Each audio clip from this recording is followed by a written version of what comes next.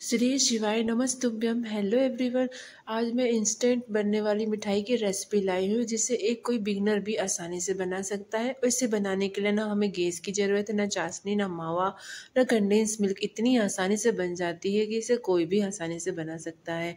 तो अगर फ्रेंड आपको मेरी रेसिपी अगर अच्छी लगती है तो प्लीज़ मेरे चैनल को सब्सक्राइब कीजिएगा। लाइक कीजिएगा शेयर कीजिएगा। तो चलिए शुरू करते हैं आज की रेसिपी बनाना। इसे बनाने के लिए मैंने आधा कप चीनी ली है। इसमें मैंने चार इलायची डाली है। इसको हमें अच्छे से इसका पाउडर बनाना है एक फ़ाइन पाउडर बनाना है।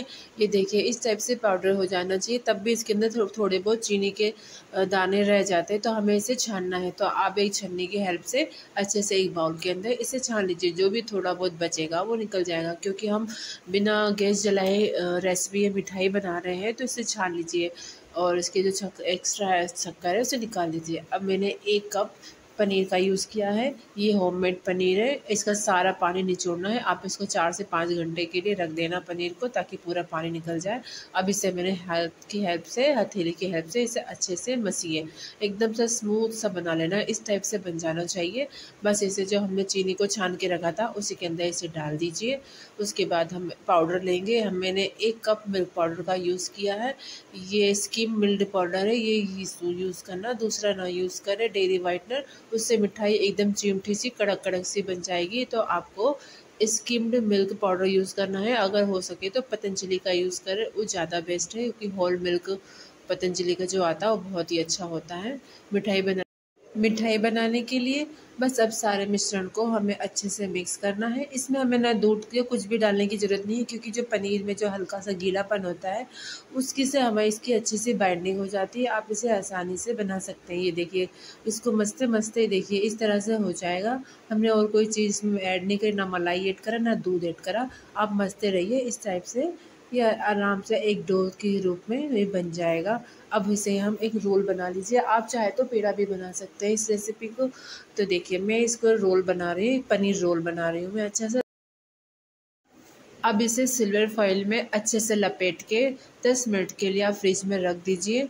या तो आप नॉर्मल टेम्परेचर पर भी रख सकते हैं, बहुत जल्दी सेट हो जाती है। ये मिठाई बहुत ही आसानी से मिठाई बन जाती है। इसी तरह से मैंने इसे राउंड राउंड थोड़ा सा और कर लीजिए, ताकि जो थोड़ी बहुत भी टेढ़ी मेढ़ी हुई वो सही सेट हो जाए, क्योंकि अभी ये सेट नहीं हुई है। अब ये नरम है मिठाई थोड़ी सी बस इस तरह से इसे चारों तरफ़ से हमने अच्छे से सेट कर लिया। अब इसे हम फ्रिज में रख देते हैं। दस मिनट के लिए रख दीजिए।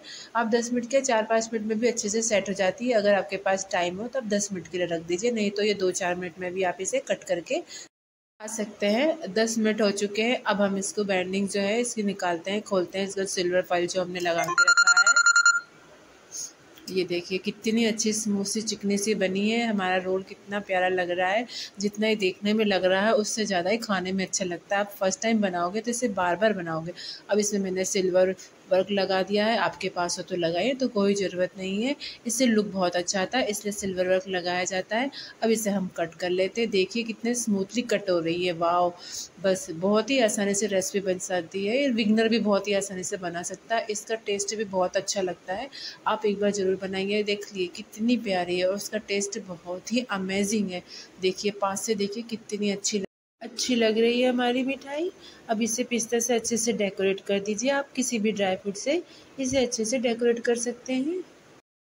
ये देखिए, पिस्ते में तो इसका रूप बहुत ही अच्छा लग रहा है, इसीलिए मैंने इसे पिस्ते से अच्छे से डेकोरेट किया है और इसमें मैंने थोड़ी रेड वाली जो गुलाब कतरी आती है, वो या तो हम हम इसे टूटी फ्रूटी भी बोलते हैं, उससे भी मैंने थोड़ा इसमें डाल के अच्छे से डेकोरेट कर लिया है। तो लीजिए फ्रेंड, हमारी इंस्टेंट मिठाई बनकर रेडी है। आप इसे कभी भी किसी भी वक्त बनाइए, अपनों को खिलाइए। तो अगर आपको मेरी रेसिपी अच्छी लगती तो प्लीज़ मेरे चैनल को सब्सक्राइब कीजिएगा और लाइक ज़रूर कीजिएगा। अगर आपको थोड़ी सी भी अच्छी लगी, फिर मिलती हूँ एक नई रेसिपी के साथ जब तक के लिए अपना ख्याल रखिए, अपनी फैमिली का ख्याल रखिए। जब तक के लिए हर हर महादेव।